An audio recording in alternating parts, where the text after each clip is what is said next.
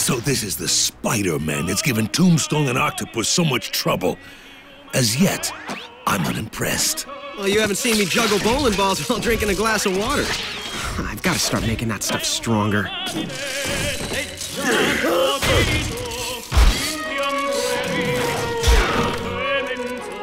Octopus calling Kraven, do you read?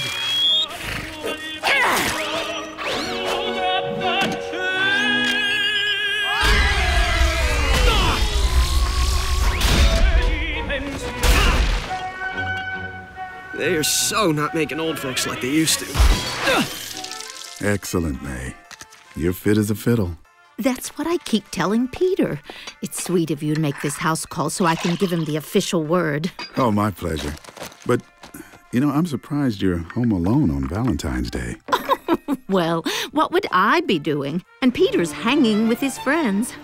You will pay the price for your constant interference, Arachnid! Yeah, I'm kind of broke. How about you pay tonight and I'll owe you one? Two of my biggest enemies and this Jurassic jerk are taking each other out, and I'm trying to stop them. Why? Oh, right. Public safety.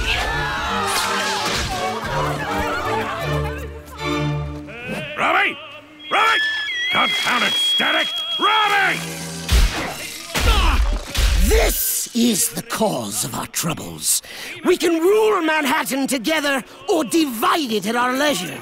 As soon as we dispose of this pest!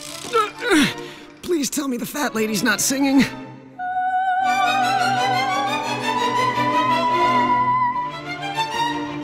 Hold him still, and I'll finish with the both of you. Stop, fool!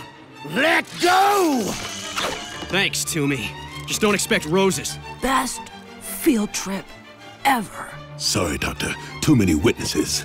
L. Thompson Lincoln can't be seen collaborating with supervillains and gangsters. Then L. Thompson Lincoln is weak! You're all weak! I'm confused. Do you want to fight or dance? Can't see! But I don't need my sight to finish this. Oh, great. A hood with focus. Sound. Hydraulic servos are powering this armor. No hydraulics, no power.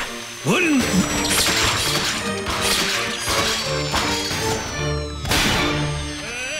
No, no!